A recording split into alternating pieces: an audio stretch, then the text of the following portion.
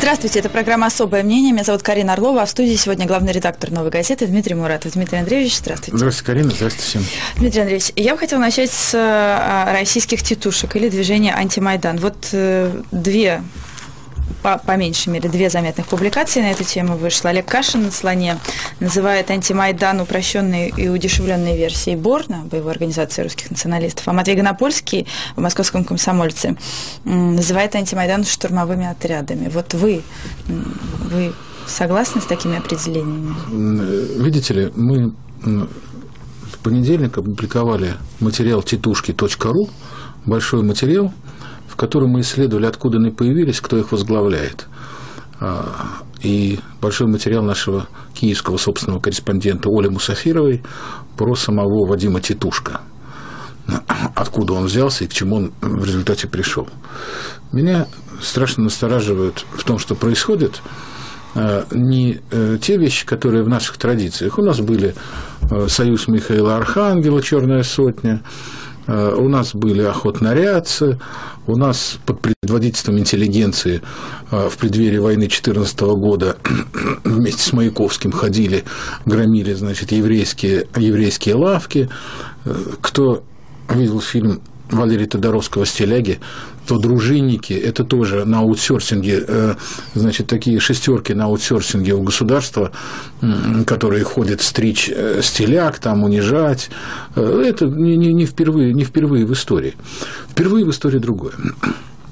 Значит, Титушек создавал на Украине Захарченко, бывший министр внутренних дел – ныне находящийся в розыске, живущий здесь, на территории России, получивший российский паспорт э, и ставший, как он сам заявил, э, старшим консультантом в Ростехнологиях.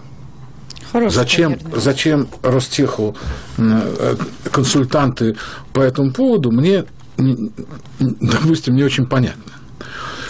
Сам он личность примечательная. Я просто хочу сказать, что и тетушки, и Майдан, и то есть и антимайдан на Украине возникли во многом по инициативе власти, в том числе Министерства внутренних дел. Э, даже никогда Янукович отказался от э, подписания соглашения о евроинтеграции, а когда были приняты э, так называемый пакет диктаторских законов.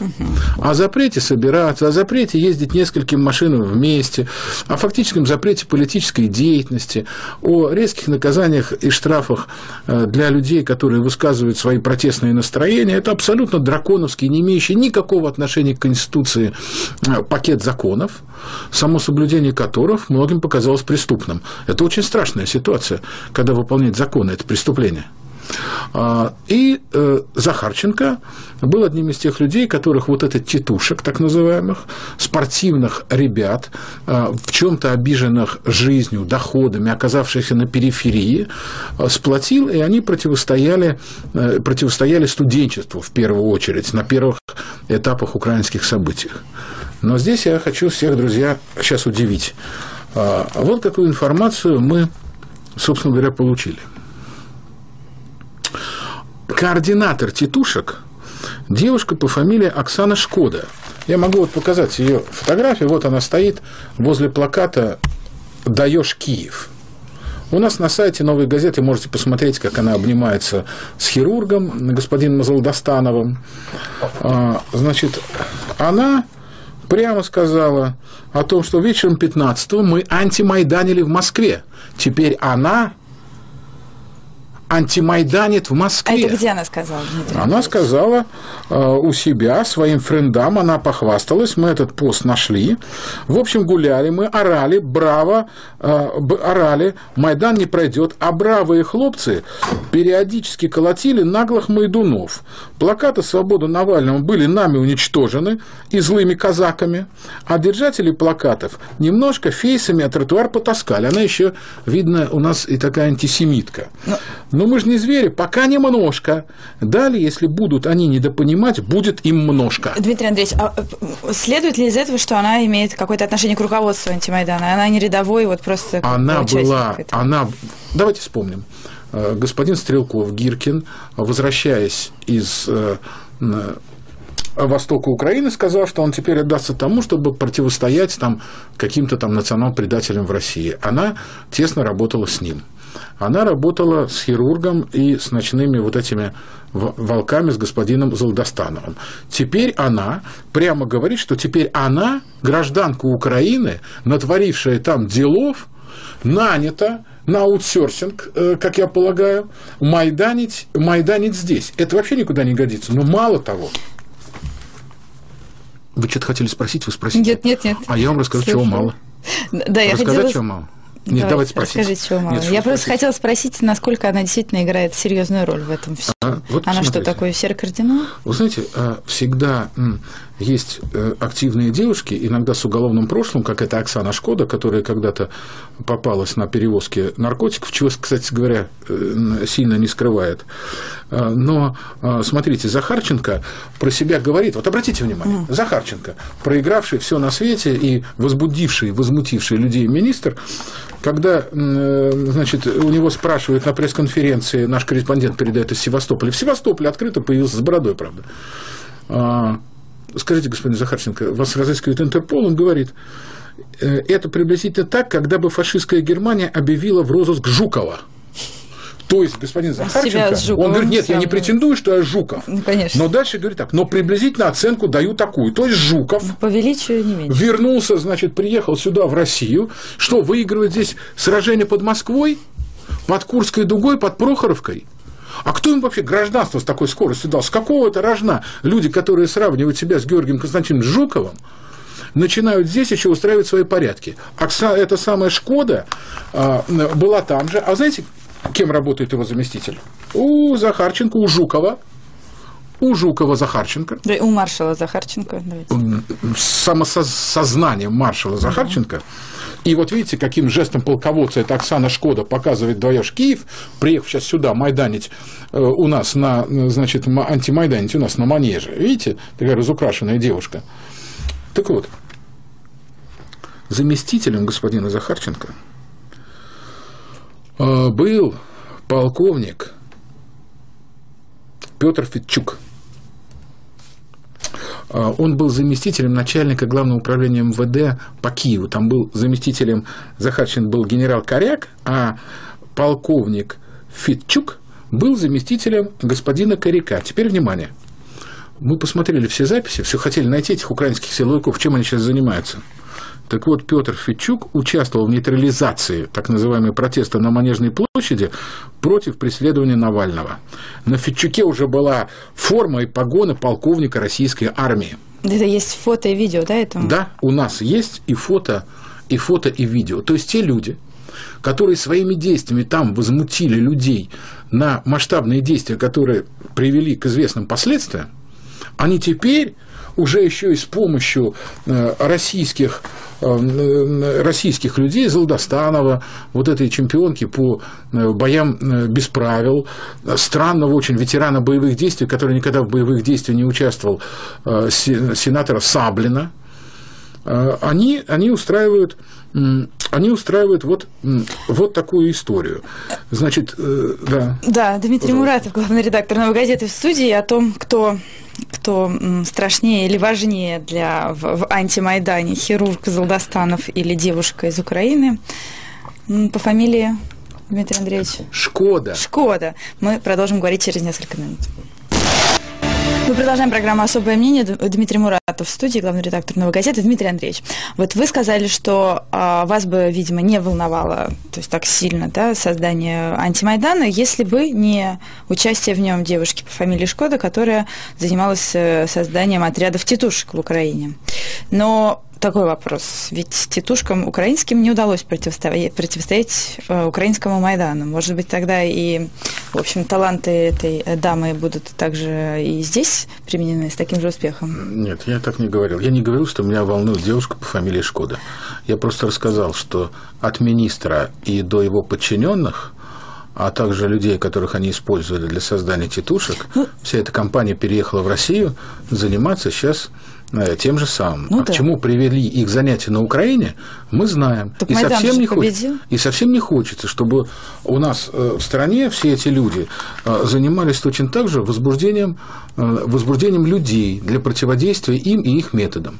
Вы упомянули о том, что э, кто-то из журналистов сказал, что это напоминает боевую организацию э, русских националистов. Олег Борн. Кашин. Я вам хочу сказать, что э, э, для сильных сравнений э, для сильных сравнений нужно иметь веские основания. Я хорошо знаю, что такое был Борн. Э, На этой неделе, два дня назад, э, было шествие по московским бульварам, посвященное памяти Станислава Маркелова и Насти Бабуровой, нашей журналистки, которые убили, Стас защищал нашу газету по многим делам, которых убили как раз люди, которые называли себя Борн. А, Многие сторонников Борна, там, журналисты одной популярной газеты, а, значит, или нынешний энергетик ДНР, а, который был руководителем местных из Подмосковья, или, допустим, ряд сотрудников, бывших сотрудников администрации президента, они до сих пор на свободе. Хотя основной костяк тех, кто убивал, а непосредственно осуществлял теракты в отношении судей, в отношении журналистов, в отношении э, активистов гражданских движений, э, они сидят. Те же, кто сейчас создает вот этот анти, антимайдан, ни про какие убийства, хотя действительно ночные волки были замешаны в столкновении, но когда они пытались там снять э, звание байкеров с одного из подмосковных клубов, в них стреляли, и у них была, э, и у них была жертва. Но они пока ничего этого не сделали. Однако, вот посмотрите, это запросы новой газеты господина Бастрыкина в СКР, Валиулину, это начальник Главного управления по противодействию экстремизма, и генеральному прокурору Чайки. Что говорят эти люди? Сначала было заявлено о том, что мы просто будем собираться там, где собирается оппозиция. Затем мы готовы убивать. Затем Юлия Березикова говорит о готовности взять в руки оружие. А один из крупнейших подмосковных латифундистов, владелец гигантских земель и известного теперь благодаря Навальному особняка, депутат Саблин, он прямо говорит, что нужны тренировочные лагеря, где они будут тренировать людей, сейчас у них тысяча человек, а нужно 10 тысяч человек. А вот здесь уже до убийства действительно недалеко. А, и я хочу, вот эти запросы мы отослали сегодня, я обещаю прийти к вам, Карин, в программу и прочитать ответы. Потому а что в чем конкретно вопрос? То есть, что вы хотите о- от э, к чему вы призываете Следственный комитет? Запретить организацию это нельзя, потому что она юридически даже не существует. Вот они мы просто требуем собрались. сообщить, содержат ли а, их заявление и нападение уже на клуб на бобры, на, на бобры и утки И вместе с, Навального. вместе с Федоровскими, да, содержит ли это признаки экстремистской деятельности по статье 1 Федерального закона о противодействии экстремистской деятельности, признаки разжигания розни или вражды, вот на унижение достоинства человека в отношении отдельной социальной группы. Что это еще за такое? Мы их потаскали, а злые казаки их фейсами, э, значит, э, фейсами, э, а, значит, а тротуар. Это что это они сюда приехали, свои порядки тут наводить у нас в Москве? Никуда это абсолютно не годится. Сегодня объявили, что у нас теперь будут там булсмены, вертикалям булсменов. Вот, давайте раз... э, смотрите на все это дело. Этого ничего допускать. Какие военные лагеря? У нас посадили, э, как и Удальцова и Развожаева, там одна, один из пунктов обвинения, что они лагеря создавали, правда, ничего не создали, так они сидят. А здесь люди, депутаты, я вам напомню, что уже был такой депутат, на место которого метит, видимо, вот этот активист Саблин, который всюду представляется боевым ветераном, хотя в боевых действиях, насколько мне известно, не участвовал. Если участвовал, извинюсь. Но, насколько я знаю, он уже долгое время чиновник. В Афганистан он не попал, поскольку он только в 89 году, по-моему, училище кончил. А, э, Но значит, эти люди собираются создавать военизированные, военизированные орг- организации. Мы уже посмотрели, как реконструкторы э, значит, шли из этих военизированных организаций на войну, и как потом с каким трудом их оттуда теперь э, Россия пытается вытащить. А вы сказали, что был какой-то еще один депутат, на место которого, видимо, сам Мищенко. Кто- А, депутат да, Мищенко, кстати. депутат Государственной Думы, э, господин Мищенко был одним из самых активных сторонников Борна, один из самых активных сторонников э, русского образа, господина Горячего, который как бы курировал и был наставником э, этого самого, этого самого Борна, дружил со всеми участниками этих самых организаций. И в Государственной Думе была такая крыша. Теперь, видимо, вместо этой националистической, крайней националистической крыши, теперь на эту крышу претендует господин, господин Саблин.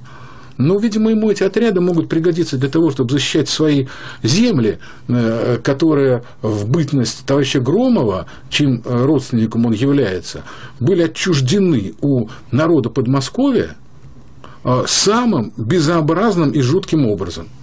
Отчуждены? А, конечно, безусловно.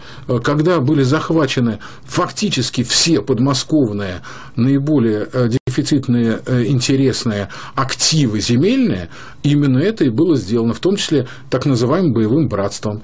То, что было сделано сторонником этого боевого братства Стрельченко, например, в Химках, нам хорошо известно, в том числе по э, убийству главного редактора газет «Химкинская правда». Это была такая, я вам хочу сказать, вот это и было военизированное подмосковное формирование. Дмитрий Андреевич, только я вот, знаете, хотела вас спросить. Пожалуйста, мы же наверняка спросите. понимаем, что э, Следственный комитет, так же, как и генпрокурор, и МВД, Центр Э, да, вряд ли вам что-то ответит. Не понимаю по существу. Ну, потому что иначе бы не, не создавался бы этот антимайдан. Вот ну, видите, как? вы, конечно, намного старше и опытнее меня, Карина. Нет.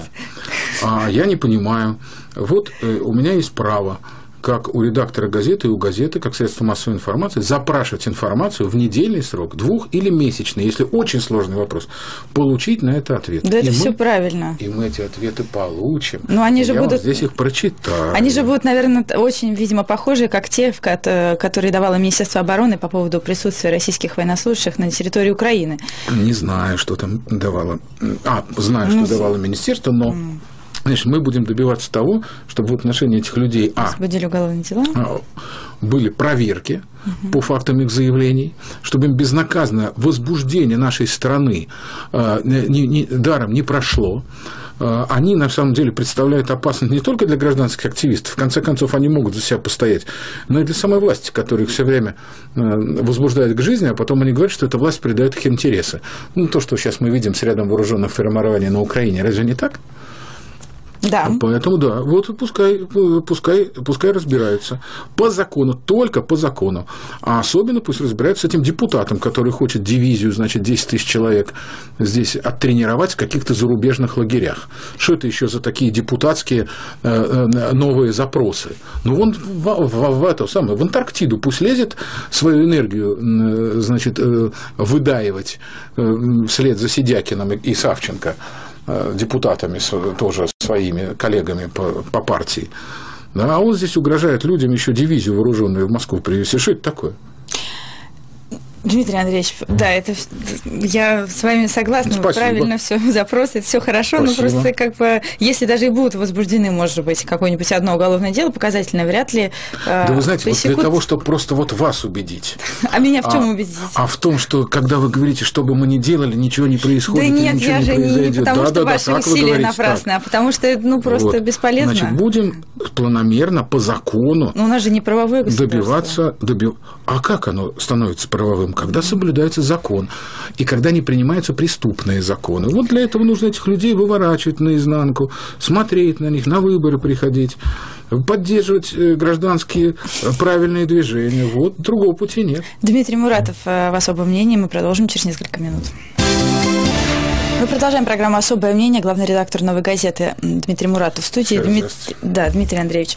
Закончили мы, давайте, с тетушками, с да. антимайданом. Но вот хотелось бы еще поговорить о, как их вы назвали до эфира, религиозных тетушках или о надвигающемся а, на да. Россию православном Талибане, как Есть говорят такое. некоторые. Знаете, а, я вот смотрю, что происходит вокруг восприятия частью вот того, что назвал православными тетушками а, фильма «Левиафан», и понимаю, что «Левиафан» становится сейчас для а, части особо озабоченных патриотизмом российских граждан становится таким журналом «Шарли Эбдо». То есть у нас в виде «Левиафана» угу. появился свой «Шарли Эбдо». У меня есть товарищ, блестящий режиссер, потрясающий актер – один из учеников и любимцев Георгия Товстоногова – Валерий Гришко. Главный режиссер Самарского академического Главный театра. режиссер драмы Самарского академического театра драмы Аншлагового театра. Вместе со своим товарищем, художественным руководителем Вячеславом Гвоздковым, они делают много лет театр, в котором трудно найти билет. Гришко снялся в роли священнослужителя в фильме э, Андрея Звягинцева «Левиафан». Ну, снялся актер в фильме. Фильм выдвинут на Оскар. Фильм еще никто не видел, кроме тех, кто смотрит пиратские э, на, на пиратских торрентах. Я вот еще тоже не видел, я хочу на большом экране посмотреть. Лучше на торренте, потому что на большом экране будет э, запикан весь мат, а мат является очень ну, важной смотрите, составляющей тогда этого я фильма, сделаю так. Я буду смотреть на большом экране, а наушники от айпада. Ну, вот видимо, видимо, вот так, да? Но я хочу посмотреть на большом экране. Я очень люблю Кольский полуостров, я очень люблю вот э, те места, э, там, русский север, такой арктический. Я хочу посмотреть, как это умеет снимать Звягинцев. А на айпаде, знаете, там все время новости. Сайт «Эхо Москвы» проступает сквозь экран с обратной стороны светится, понимаете? Или новые газеты. Невозможно. Ну, общем, э, депутат областной думы Самарской, а, да. Дмитрий приехал, Северкин, приехал, тоже посмотрел. Приехал а, Валерий, э, приехал Валерий Гришко домой, домой в Самару. И здесь, значит, депутат Самарской думы, он единорос, правда, многие партии перешел Дмитрий Северкин, я когда-то его знал. Еще ряд людей, деятелей культуры написали, значит, обращение к министру культуры Рыбаковой в котором фразы приблизительно такие. Министр культуры Рыбаков – это местная? Это местная, там, там у нас тоже министры всюду. Циничная, грязная пародия, созданная этим деятелем, это Гришко, на русский православный епископат, на верующих людей, фиглярское издевательство над российской властью и основной конфессией, святым православием. А, значит, это донос – это донос, который подписали местные, значит, какие-то не очень известные мне там писатели, значит, э, председатель Самарского отделения Всеобщества православных, значит, протеерей Иоанн Мухов. Туда, к сожалению, попала Валерия Павловна Навродская, которую я глубоко чту и знаю, она прекрасный, прекрасный музыкант, уж не знаю, каким образом задурили ей голову, но они написали э, вот эту штуку, что актер не имеет права сыграть в фильме. Мы в редакции с Ларисой Малюковым начали серьезно думать о том, что у нас, и я сказал об этом Станиславу Сергеевичу Говорухину в глаза, поскольку он сыграл уголовника Крымова блистательно абсолютно в фильме «Аса», каким образом он может возглавлять Объединенный народный фронт э, президента России? У нас рядом с вами пять минут ходьбы э, в МХТ имени Чехова возглавляет видный деятель нацистской Германии господин Шелленберг. Э, Джигирханян, вы извините, но это штабс-капитан Овечкин убийца просто чекистов э, молодой советской власти. Я же не говорю там про моего любимого э, Евгения Миронова, который принял вообще-то ислам в фильме «Мусульманин», если я не ошибаюсь, это вообще просто какой-то кошмар. Нет, а почему-то ислам в России не то, что можно, а лучше бы даже и он принять. Его, он его принял. А что такого? А, ну, в общем, у нас целый миллион актеров, человек у наших актеров, на у наших актеров очень много грехов. Значит, я думаю, что здесь против самого театра пытаются разыграть вот это вот мнимо православную карту, когда, прикрываясь Христом, а, придумывают свои абсолютно мерзкие, мерзкие делишки. Как писал Даниил Андреев, вы не Бога проповедуете, а противо Бога. Вот это противо Бога такого. И вот все эти люди, которые написали такой донос, видимо, они не без участия кого-то из чиновников областного правительства, как есть у меня такие смутные догадки, а, пытается отжать таким театр. образом, видимо, отжать и наехать на театр, потому что тут же, тут же в театр пришла проверка проверить доходы, проверить доходы Гришко. Ну, понятно. А, понимаете, опозорили умную область. Ну, просто насмех подняли Но... Самару ну, всюду, ну, люди гогочут по всей стране. Дмитрий Андреевич, надо еще только добавить, что а, сам, самого Валерия Гришко, вот этот депутат Северкин, назвал э, не шибко грамотным, беспринципным и очень не любящим родину совком, а также быдлятиной. И, и из-за этих высказываний Гришко будет судиться с Северкиным. А, ну, э, Новости. Я хочу сказать что про э, товарища Северкина, я думаю, много что всплывет к этому суду, как и про, про то, кто организовал это письмо, уверен, вот я сейчас выверну эту ситуацию наизнанку, сейчас посмотрим, что там происходит. А видите ли, ну, когда Георгий Николаевич Товстоногову э, устраивает, э, значит, Товстоногова устраивает Гришко, а, значит, депутаты единороссы из областной думы не устраивает, я э, склоняюсь к экспертной точке зрения Георгия Товстоногова. Дмитрий Ильич, вы упомянули еще Шарли Эбдо, а вот тут э, Михаил Борщевский был на прошлой неделе у меня в программе «Особое мнение», и он почему-то сказал, что вы, как главный редактор «Новой газеты», никогда бы себе не позволили опубликовать карикатуры на а, пророка. Можете это подтвердить или опровергнуть? Ну, у нас, э, безусловно, э, история такая. Вот давайте, это очень серьезный вопрос. Все, что касается жизни и смерти, вопрос серьезный. А, а, мы поставили на первую страницу наше имя Чарли, потому что убивать людей за их убеждения, за их картинки – это террор и преступление. Все. Ничего даже не обсуждается. Не, просто ничего не обсуждается. И нет ни с, как, с другой стороны, с какой-то стороны. А, эта смерть этих людей, она сакральна. Но их смерть не делает сакральным, то есть священным их творчество. Значит, мне эти картинки, они нравятся. А, когда была нарисована картинка после теракта в московском метро в этом журнале. Я тогда, конечно, сильно удивился, а, когда ухмыляющаяся смерть среди московских пассажиров а, значит, входит в вагон метро, а у первого вагона метро череп и кости, значит, скрещены. Но это очень странное выражение соболезнования многочисленным жертвам, а, многочисленным жертвам взрыва взрыва в Москве. Э, эти, эти, эти шутки, честно сказать, не по мне. Я ненавижу, я очень хорошо знаю там, историю журнала «Крокодил», я люто ненавижу все эти страшные картинки про священнослужителей э, там, в крокодиле. Или сейчас в музее ГУЛАГа, посмотрите, идет великолепная выставка на Петровке, э, как боролись с Далай-ламами Э, в Бурятии. Какие страшные на них э, рисовали карикатуры и паскали, насколько было, были задеты, задеты буддисты. У нас в стране там, по-моему, миллионов двадцать мусульман.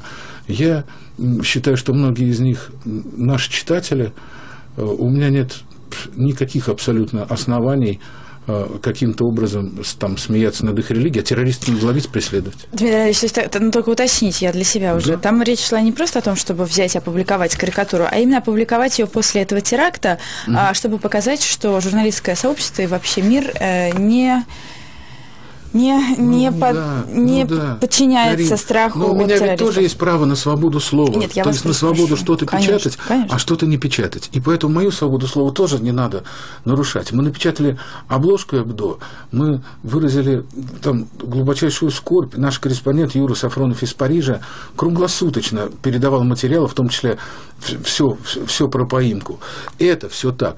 Но рисунки мне не нравятся. И у меня есть свобода слова, как у главного редактора, и я не хочу и не буду их печатать. Все. Другое дело, когда мне со всех сторон начинают указывать, что я не должен их печатать, у меня возникает непреодолимое желание – Э, наплевать, э, там, наплевать на свои принципы. Я тут по этому поводу, потому что происходило вокруг Шарли, и вот эта э, такая религиозная война, когда государство отказывается от своей светкости и начинают значит, друг друга друг друга бомбить ну, вот такими такими вещами, которые влияют на общественное и глобальное настроение. Я у Данила Андреева, в лагере он писал а, эту розу мира, и в лагере он написал, цитирую там Нагорную проповедь, если вы приветствуете, пишет он про православных, только братьев, что особенно вы делаете? Не так ли поступают и язычники? То есть надо стараться понять друг друга. Не надо, используя старую метафору, в стеклянном доме швыряться кирпичами. Абсолютно в этом уверен. Я работал на всех горячих точках, какие возможно. Я помню, как мы работали в Азербайджане и в Армении, и в Карабахе, и, э, и в Карабахе, и как мы высчитывали каждое слово как не затронуть те чувства, которые потом приведут к многочисленным смертям? Смерть и право на жизнь не менее важное, а, не менее важное право, чем право на свободу слова. Дмитрий Андреевич, вы говорите, не надо э, кидаться камнями в стеклянном доме. Не, не надо. Но что же нужно? Но э, в, в то же время у нас э, глава региона Рамзан Кадыров объявляет врагами ислама, его личными врагами всех, кто поддерживает Все. публикацию. Это уголовщина. Этому... Нет, вот и тот же Михаил Борщевский, прекрасный юрист, кстати, очень хороший, не находит здесь уголовного состава, вот, его угрозы. Говорит, очень искусственно написано, нету. Вот слушайте, значит, если мы начинаем говорить о том, что так надо искусно выписать, чтобы ничего не было, так вот, когда а, говорит, например, Рамзан Кадыров, да, а, по-моему, про Ходорковского или про, про Венедиктова, или про Венедиктова, Прав, или про, про всех, да. про всех, кто, значит, что, что это, это враги, во-первых, сразу хочет стать врагом, а во-вторых, а во-вторых, понимаете, что происходит? А мы прекрасно знаем, как активные люди, думающие, что это дано указание, могут, даже не будучи теми людьми, которые получили приказ, а просто по своей инициативе, поняв, что человек, претендующий уже на роль мусульманского лидера всей России, а может быть и более того, как, например, Рамзан Ахмадович Кадыров, а, они могут просто пойти и выполнить ну, это пойти понятно. и выполнить этот приказ. Это, это целеуказание. И если э, э, Михаил Борщевский в этом не видит опасности, то это очень плохо. Это категорически плохо. Ну, а что делать с этим плохо? А, Они все равно не публиковать значит, ничего и есть сказать. руководитель, есть руководитель региона.